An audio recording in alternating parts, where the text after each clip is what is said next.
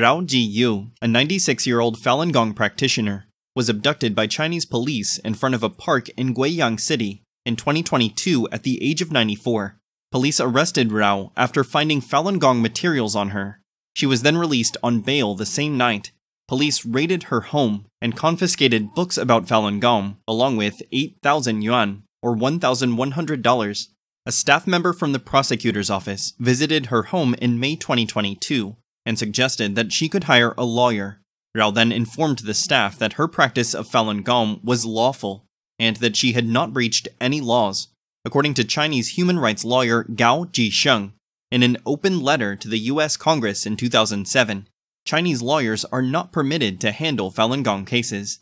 The lawyers defending Falun Gong practitioners have been detained, imprisoned, tortured, disappeared, and had their law. Rao was among 447 Falun Gong practitioners arrested in recent years for their beliefs, according to a report updated on July 18th by Minghui.org.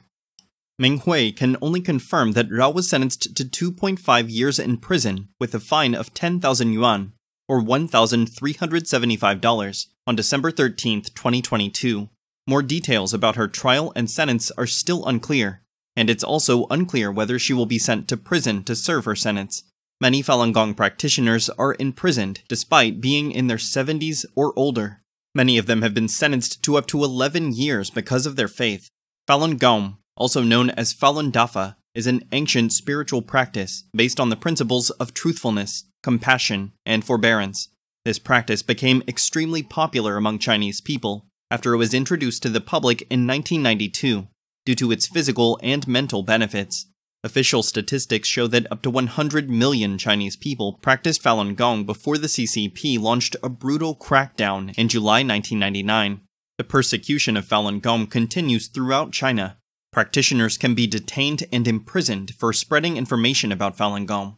The Falun Dafa Information Center estimates that millions of practitioners have been arrested and detained since the persecution began, often enduring torture and mistreatment while detained.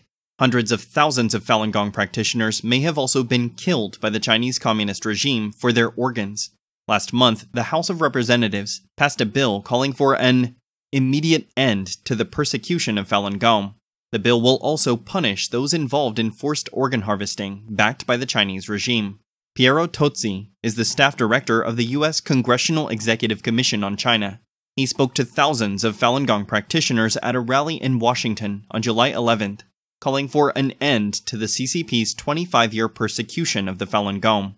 Tozzi said, This persecution must end. It is inhumane. It reveals the barbarity of the Chinese Communist Party. That has to stop.